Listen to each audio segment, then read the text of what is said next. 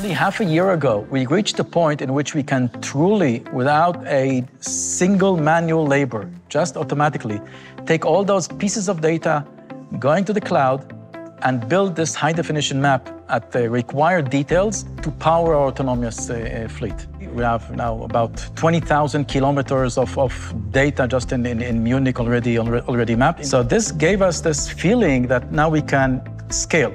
So we're planning China and Shanghai, uh, Tokyo, uh, Paris, uh, Detroit, and if we figure out how to get the regulation with the New York City, with the New York State, we'll also plan to uh, deploy New York, all in a matter of uh, the next uh, the next few months, because those two factors of scalability are, are practically practically solved in our development.